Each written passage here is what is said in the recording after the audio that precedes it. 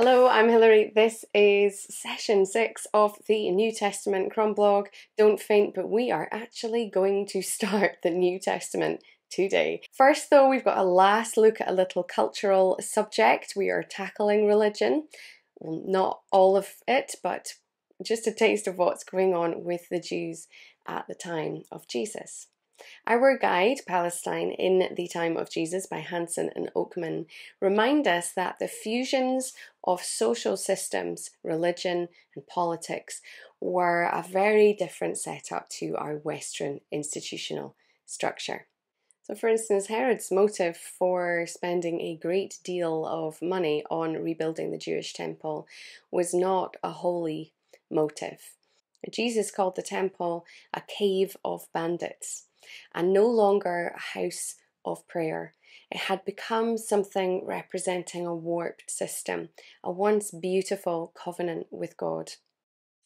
Questions that we might consider at this stage is what was the temple like at the time of Jesus? And how did it operate? Who controlled it and who benefited from it? For people today, the Christian religion is mainly an individual and spiritual choice. We attend or lead the church of our choosing. For ancient kinship orientated Jews, required religious activity occurred in two places routinely in the home or in elite controlled temples where people strive to occupy the key positions of benefit from the religious system. Theology was for the few who would have been literate elites, and it was often used to justify a group's or an institution's position of power. Sometimes it would be used to expose or criticize opposition to that institution, like Jesus of Nazareth. Of course, this is something that we continue to do today. So we are discovering that this Judean temple in Jerusalem was a political institution in lots of ways.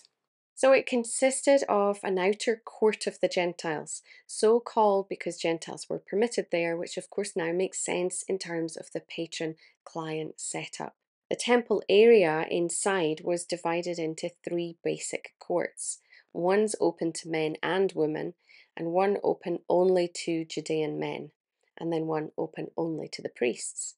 And the priests' area is divided again into those three areas the place of sacrifices outside the temple building, which was continually in use with the annual requirement of probably tens or hundreds of thousands of animals. And then you've got the holy place within the temple building and the Holy of Holies.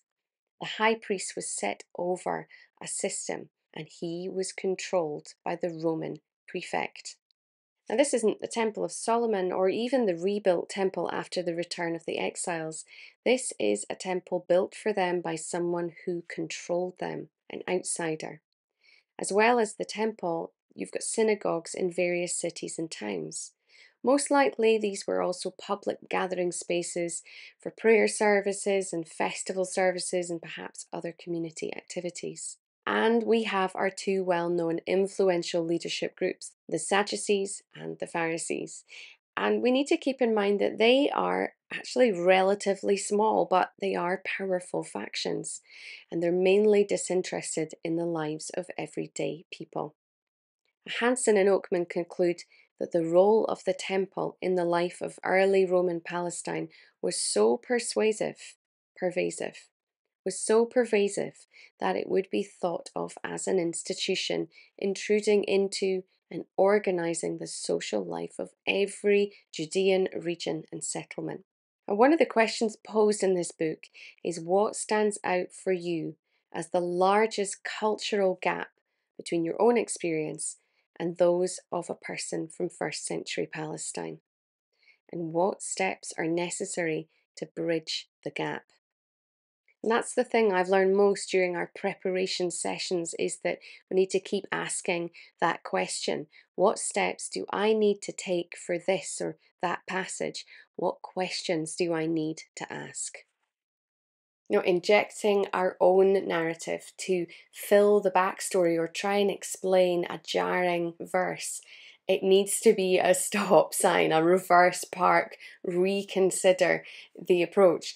Sometimes God will bring a Bible story intentionally into our own narrative, our life, something that's happening, seemingly lifting the words out of their cultural context to bring us something into our context. And we shouldn't have an issue with this. We don't need to limit the ways that God can speak to us. But it's a different case when we lift the, the verse out of its context in order to fit it into our human understanding. I want to get the Bible the right way around. So, over these past five and a half sessions, we have considered the story so far, and we've also looked at three key themes that we're bringing from the Old Testament, looking for them in the New. We remembered the kind of hows and whens and whys of the Messiah that the prophets were pointing to. And we've attempted an overview of this cultural and social scene that we are heading into. Now, because we are reading the Gospel stories chronologically, we're going to jump about the four Gospels, as well as linking to some of those prophecies and any other relevant verses that crop up. And all of those are going to be in your reading each time. So we're starting with Matthew, and we're in chapter 1 and the very first verse. The record of the genealogy of Jesus the Messiah, the son of David the son of Abraham. Abraham was the father of Isaac, and Isaac the father of Jacob, and Jacob the father of Judah and his brothers. Now, the reason Matthew starts here is linked to how Jesus' life fulfills those all important prophecies. For Abraham, Isaac, Jacob, and Judah, the promise is all nations being blessed through them. And Acts chapter 3 explains this the covenant which God made with your fathers, saying to Abraham, And in your seed all the families of the earth shall be blessed. For you first, God raised up his servant and sent him to bless you. And in Galatians chapter 3, Paul clarifies the seed is Christ, not Abraham's own son.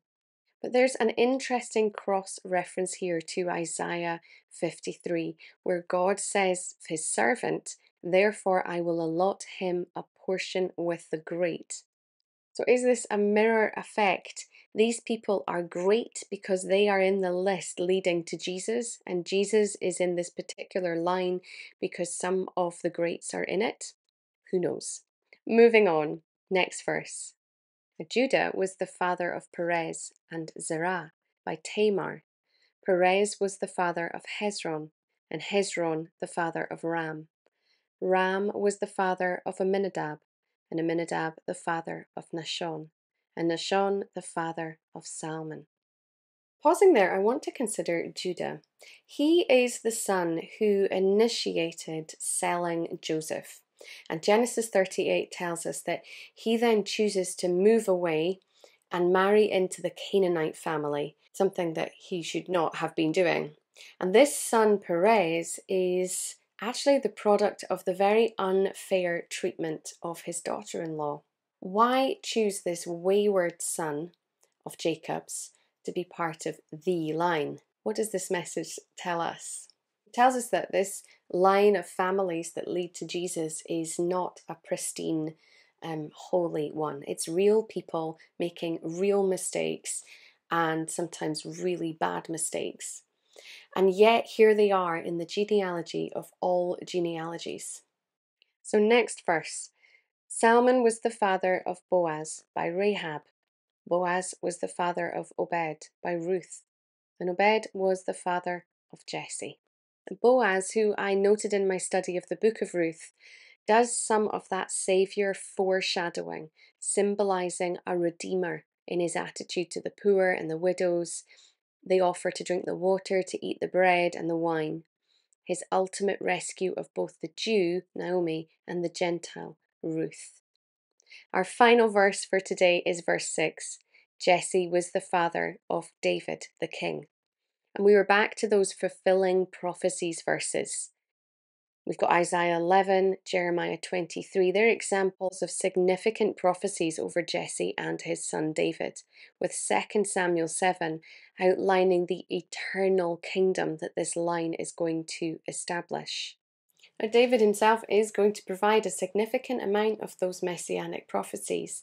They're going to be popping up in his songs in many moments, like the Lord as the Son of God, who will be made lower and then raised, crowned and glorified.